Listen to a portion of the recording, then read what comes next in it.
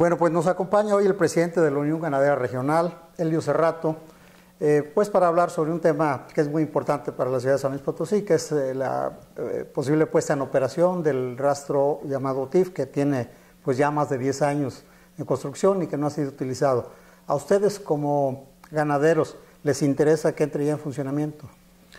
definitivamente sí, por varias circunstancias. La principal que nosotros siempre hemos manejado, porque este, como tú bien lo dices, pues es un proyecto muy antiguo, estamos hablando de la administración de, Octavio Pedrosa, que fue cuando se puso la primera piedra en aquel entonces, este, y con la expectativa de que la siguiente administración lo, lo, iba a abrir.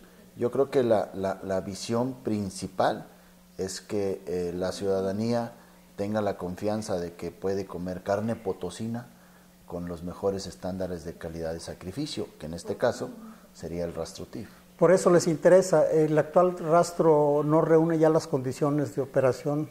Eh, las condiciones normales que hoy en día todavía las, las, solicita, vamos, la COEPRIS, que de alguna manera es quien regula eh, las cuestiones sanitarias, sí las, las reúne actualmente.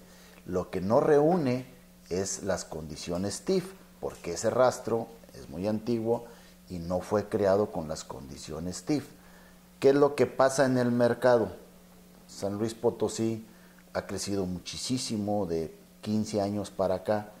Lógico, también ha crecido en, en servicios y por supuesto en tiendas de autoservicio.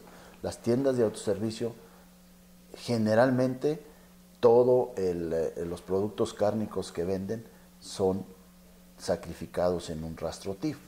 Entonces, de ahí nosotros, la carne que nosotros producimos, al momento de ir a, un establecimiento, ya no lleva, no lleva las condiciones TIF.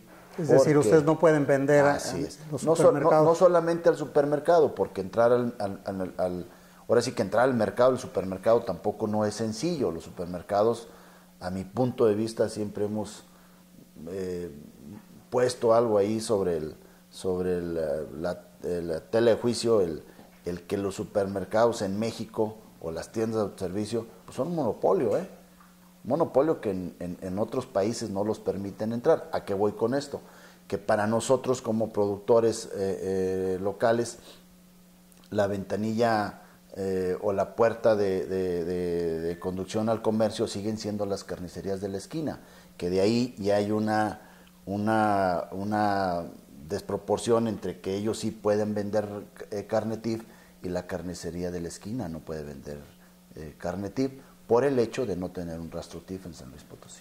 ¿Ustedes qué opinan? ¿Por qué no ha entrado en funcionamiento ese rastro que iba a ser TIF? Mira, nosotros... ¿Qué ha faltado? yo, yo creo que lo principal, eh, se ha manejado muchas veces la cuestión económica, pero yo creo que lo principal ha sido voluntad política, porque ese rastro TIF, eh, como bien te lo dije hace rato, eh, nació en la administración de Octavio Pedrosa. Y lamentablemente han, pasado tantas administraciones. te pongo un ejemplo, cuando, cuando se nos presentó el en aquel entonces, tengo presente, se nos presentó a la organización a conocer, se nos dio a conocer el proyecto del rastro TIP, valía 60 millones de pesos. ¿eh? Ahorita yo tengo entendido que van más de 120 millones de pesos gastados y lo más triste es que no está en operación.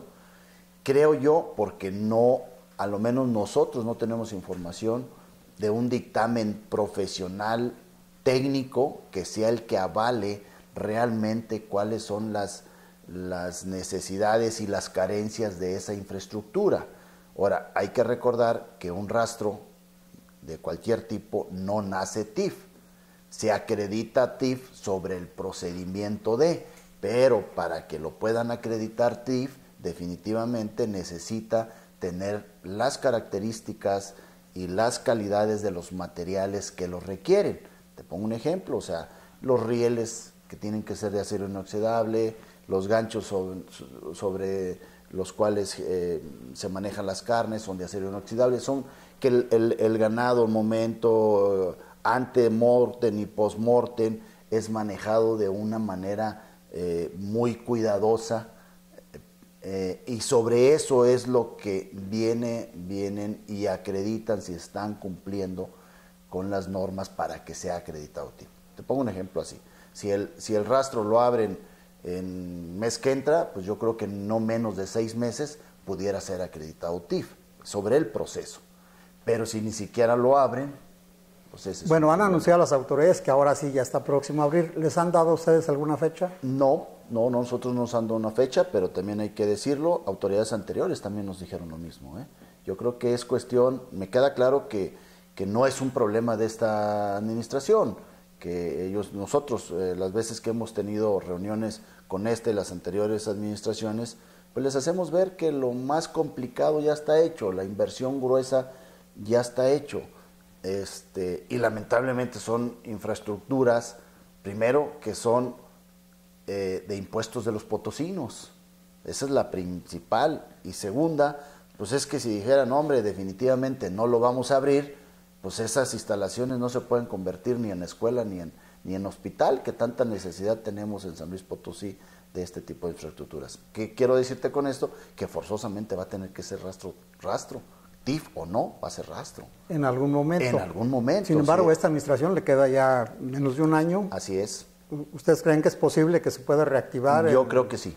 Por, por lo que nosotros conocemos en el rastro, eh, eh, eh, lo que vimos es que no era mucho lo que, lo que se necesitaba para poderlo abrir.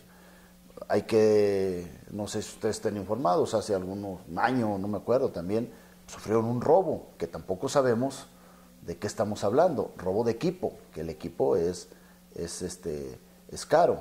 Entonces, eh, yo, yo creo que por supuesto que es cuestión de, de, de, eh, eh, una situación económica, pero yo creo que es más una situación de voluntad política para poder eh, abrir el, el rastro. ¿Hay confianza en que sea reactivado? por- Sí, sí, sí, tenemos confianza. Este, eh, se han mejorado mucho los procesos en el actual eh, rastro.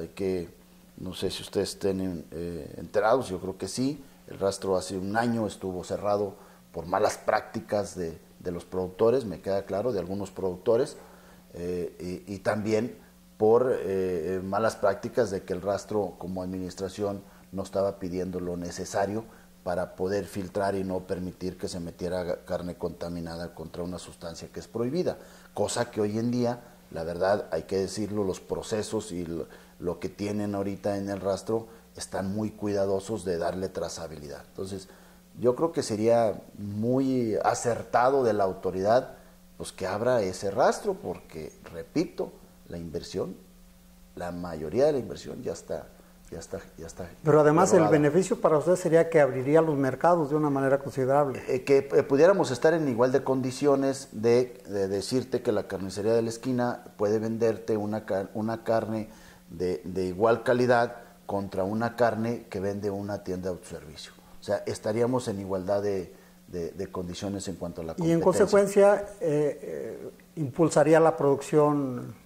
Eh, por supuesto, y, y- y, bueno, impulsaría y le daría el, el- el plus de que el mercado de la carne potosina, pues cuando menos que se consuma con confianza y certeza dentro de los mismos consumidores potosinos. Habría para los consumidores también el beneficio de más calidad, de más supuesto. higiene. Sobre todo eso, más inocuidad. Hoy en día eh, los comercios o el comercio en general de los alimentos, no solamente de la carne, sino de los, alimentos, de los alimentos en general, las reglas, por ejemplo, para exportar cualquier producto, si algo existe en, en- en- en la- en las reglas, es la inocuidad, ¿eh? o sea, se fijan mucho en la inocuidad.